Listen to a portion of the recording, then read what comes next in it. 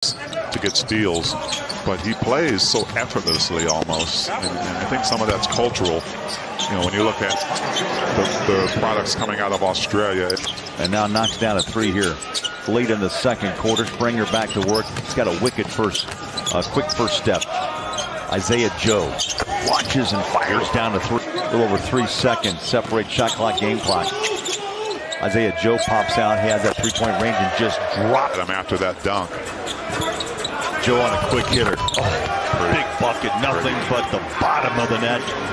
He was going to pass it one more time in that left corner. Three threes for Aaron Wiggins. They've been a quiet 11 tonight, but a bucket down inside and Isaiah Joe.